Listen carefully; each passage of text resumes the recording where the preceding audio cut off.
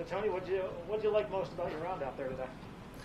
Yeah, the putter putter felt good. You know, a lot of putts actually. You know, I hit really good. That didn't go in, but um, I was happy with the way I stroked it, and um, I was able to kind of free up. I feel like the the rest of my game. What's the difference been for you these first two days versus the other times you've come out here to play? Um, I've scored it nicely. You know, last year I played, you know, pretty well. I think out here the first couple days. Um, you know, I, I, put some good work in. You know, and, and just in our off season, and even last week, not playing at the Sony, I was able to put some work in with my coach and um, and just a, approach the part of the game that we feel like needs work. And um, I've been able to do that and, and find some success here the first couple days the bunker hole out.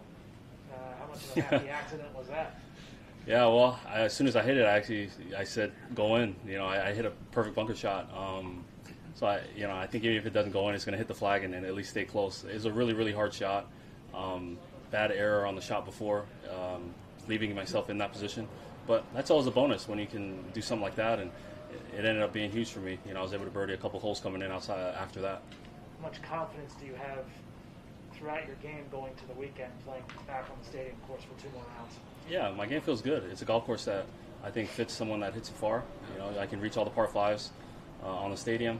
Uh, as we know in this game, it's going to come down to scoring and come down to putting, especially on this type of golf course. Um, I don't think you're going to hit too many uh, balls out of bounds. You might hit some in the water, but ultimately, you know, the game comes down to who's going to make the most putts on the weekend, and, and hopefully that's going to be me. What did you feel like you had to work on the most? Yeah, my, my, my you know I've been I've been working ever since September. Um, I kind of weakened my grip, and that's something that I uh, I've always had a weak grip growing up. Went to a strong grip, now back to going a little bit weaker, and, and sometimes you just have to get enough reps when you make a change, and that's all it was. You know, last week just making sure I hit enough shots to know what the golf ball is going to do, and it seems like so far it's uh, it's kind of paid off. Other guys have mentioned the fact that last year was so strange, played so late in the season. Did you feel like you didn't even have an off season this year? Did it feel like you just kind of spilled over into the new year? Yeah, pretty much. You know, especially you know having qualified for Maui, there, there really I played the QBE. There really I had two weeks off, and, and we went over early to Maui, so really one week of, of being at home. So really not really an off season, but um, I've kind of learned throughout my career.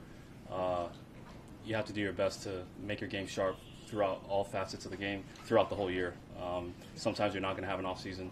Pick and choose the tournaments and, and try and get your work in when you can. Thanks, Good. Thanks.